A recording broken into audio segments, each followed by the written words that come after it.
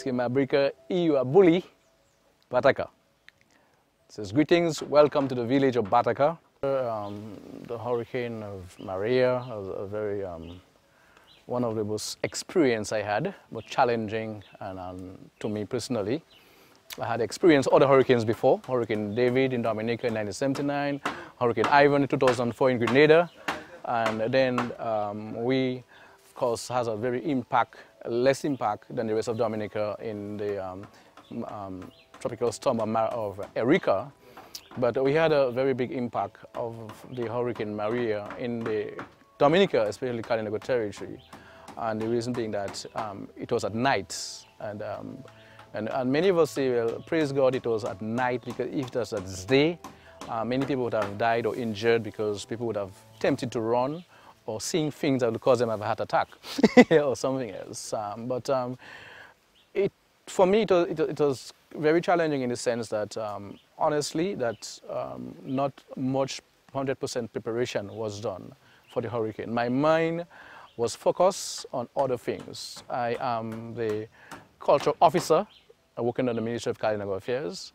We had just had a program on the 17th or the 16th, Kalinago Week, which was all under my portfolio to have a well-organized Kalinago Week.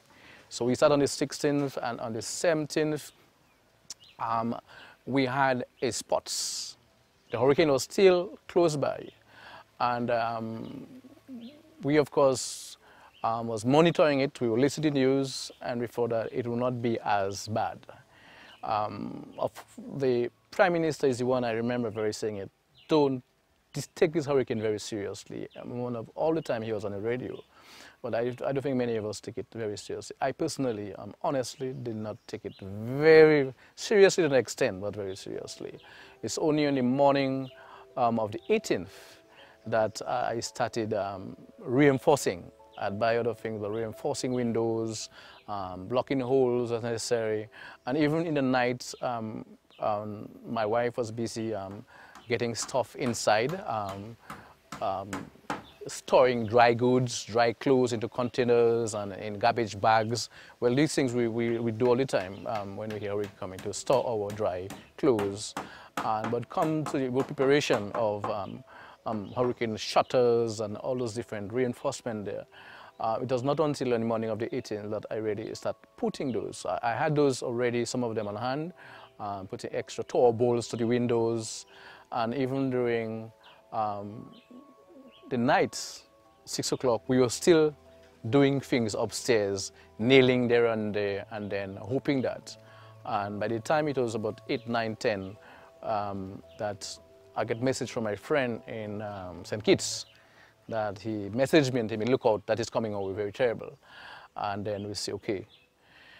We had um, another family uh, with us, so my son and three others stayed downstairs, which we had a down basement, and we were upstairs in the main house. My wife and her sister, which was sick, and myself, three of us. And we were up doing, um, preparing while those downstairs were having fun because they're young people. They had never seen maybe a terrible hurricane, so having fun and, you know, looking at trees and see where it is coming during the course of the day.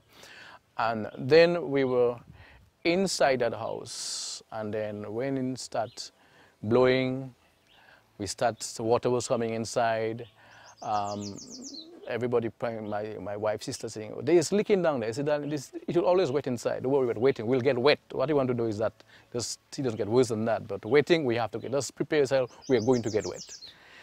So we start moving around. Then after a while, when the windows started really pong inside and then moving out by himself, there was a, like a spirit, some other hands trying to unlatch those tower bolts, pulling them out squeezing the window and then the latches going, on, like somebody was pulling them out.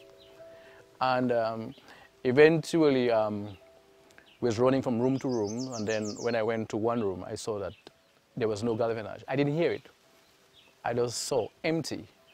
So I didn't alarm anybody. I just go back and I told my wife and this, I think we can stop doing the preparation. Now it's time to look for a safe, somewhere safe to hide. Now is survival time, honestly. So um, I showed them where to stay, where would have gone and hide under the bed and corner there. And we stayed for a while there, and while I was looking other else to see what is the other option, in case, because now we are trapped inside. It's too late to go outside because outside they had two other structures outside where they smashed. We can hear the bottles, we can hear the galvanized and everything crashing on the outside. And then we we decided that we are going to see one place. And I, I honestly, I, I didn't, we, there was no alarm. Um, we communicate just what we had to communicate among ourselves. I suffered from some um, hypertensive. I, I decided not to get myself excited too much, so I, I decided to play the calm game. So I remained very, very calm during that time. I, I remained calm and then everybody was praying in their heart. I went and I think everybody was saying the prayer. I said, God, this is it right now. So you do your will. So when um, this part of this house, the, the, the, eastern end broke, it went inside and it's a, it pung a door open and then the, the wind force start rocking the house inside. So we, we, um, we run on the table, the exhaustion on the table. So everybody says, get on the table, and we held three of us under this table and I tell him, put your feet inside, put your head inside because there will be object. There will be object coming our way. So just don't look at any of the roof one we never see any roof. We cannot, I cannot witness where we saw, we can see, well, I saw a galvanized or a rafter went. We cannot see that at all. We just know when we look up, we saw when the lightning flash, you could see yourself. There was nothing to say, well, like you say panic, this one is growing and excitement. There was nothing else. Um, so we stayed there. Um, the boys, people downstairs were trying, we're hearing noise below, a lot of noise below. And then, but that was a real panic. There was, there was one of our main mistakes that we did not, we did not come together as a group. So some of Dong says, some of upstairs. So downstairs was panicking for us, and we were panicking for them now. so um, we stay, and then um, I heard the noise below. My boy was trying his best to hear and respond because we remain mute. We, we hide and we remain silent. And then our boy was getting concerned that we were, he said we die. He said we did. So something must happen because they hear only debris. So we die upstairs. So anyway, I stayed and then knock, I hear the knocking. So my wife shout and tell him, you cannot come inside. We already, uh, it's too dangerous to be up there. So stay below. I'm saying to myself, well, why they don't use the bed as a barrier? Because there are two grown-up boys that they could use something as a barrier down there because, and we use our table as a barrier. It's stay strong. I said, ladies, hold strong because that is our only safety the table and um, just watch your legs because objects might come your way. Until finally I decided, there was a silence and I decided, but I decided to move downstairs. Then my wife held me to me, I couldn't go because it's too dangerous. Um, by the time the whole wind force had already shook everything already. The library, books, um, your settee, everything is making one, everything jumping. The, whole, the inside there is just like everything into the spinning. You just cannot believe what situation they were in. So um, eventually I got a chance and I said, I want to sit down. I just want to be downstairs to see what happens. So I passed through the door and went out the back window and I knock very casually, no excitement, trying just to keep myself quiet. I knock and then I said, are you guys all right down there?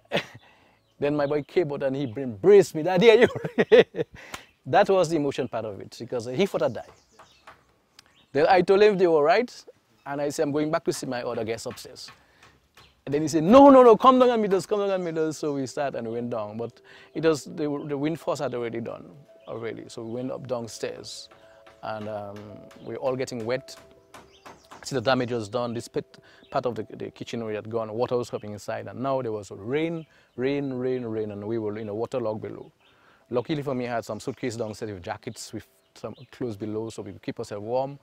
And then um, we had a stove below. I went back to get the cylinder and make some coffee. About 12.30, we were already making coffee. And then um, we started getting, seeing lights from the outside and realized that my Navy house was completely blown off. My mother's house get through. My brother's house close by gets smashed down. And close by is this a concrete structure, which is like the main shelter that people went inside. My two families got inside there for shelter.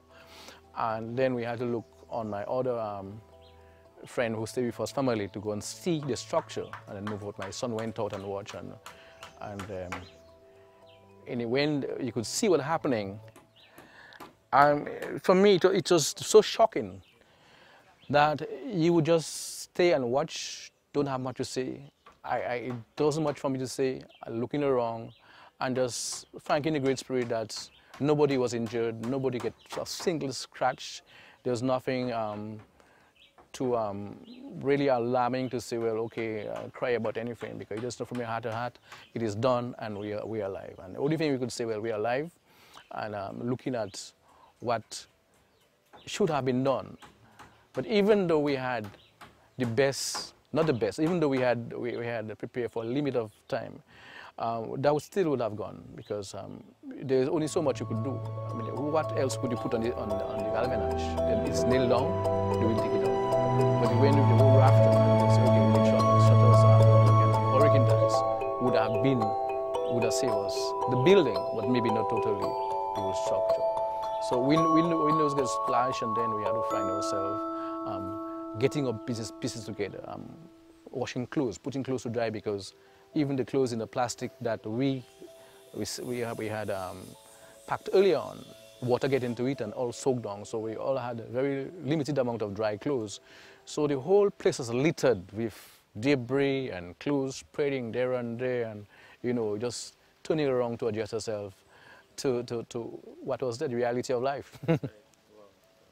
All right, let, let, let me shift a little bit to the, to the response now, the post. One of the first things was shelter.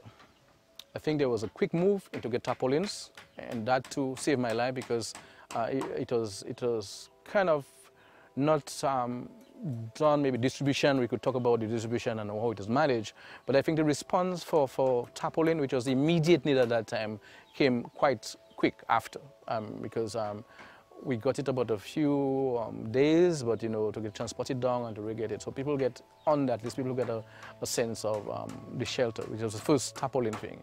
The other response was food security, and uh, that was a very big issue here because um, we grow things here not much that could last for cooking and rely mostly on the shops for, for rice and flour and all these different foods. Um, so food um, security was a part of it. For some people, uh, particularly in my house, we grew a lot of our food. We had a lot of pumpkin planting and uh, 10 years during that time. So it wasn't much of an issue for us. But I know other people like, they're already hungry. They're number three already hungry because there was, the shops was totally um, crashed on, what was not um, crashed was looted. So food security was one, was one of those. And then, um, so personally, I stayed here for some days here until I was summoned to get to the distribution area to help distribute. And um, there was also a quick response for assessment. But even assessment um, was made earlier, I, I, don't think that they respond 2D assessment was quickly done. I mean, the assessment was made. I mean, Cinema was the first one online doing very quick response of what, what was the assessment. But my main disappointment is what happened after that. It took a lot of time. The coordination, up and I can understand. I just cannot tell fairly a, a very good um, story um, from fact what I can just maybe go about. But the real fact and say, well, okay, this was what they did and that is what come. Um, so I think that was very slow in coming, so I can um, show that um, whoever did the tarpaulin with a quick response, um, we get, of course, a quick response from the neighboring islands, whoever sent um, food, water, that was, that was the immediate, immediate thing across. our our respondent preparedness towards health, uh, what you call first responder, was not to the best. It, it wasn't activated, it wasn't coordinated properly, so that has to be looked into, where we can um, secure uh, what you call uh, the emergency responders in each hamlet, and where we can refine emergency um, shelters, preparation of emergency shelters. Right now, we don't have emergency shelters in here, and we have, we have to rely, rely on our neighbors that have a stronger house to that, and even that is not, I don't think, the, the, the, the mouth um, lip service is being given um, to an extent, but actually responding by doing the right thing is not coming, is not coming forth, to my opinion. It, it's a lot of stuff, you don't even have to be different places. I think that have, it has some things that have not been done. I mean, uh, one of the, uh, I must, the, the response towards shelter, which I didn't touch on, was very much by cinema's um, thing with, with um, the galvanized, the first set of zinc coming in. I mean, the it was done, we, we were promised zinc and we were promised other material, that the zinc was there, um, the bilirubin was there. They actually couldn't do what they was intended to do because they stayed the whole time there and what they intended to do, they couldn't do it. So they end up doing assessment. But anyway, the, the, the, the intention is very good because the zinc we got till now, apart from a few people who got other zinc otherwise, these are the only one that circulate and that is on you can see that is on people's roofs.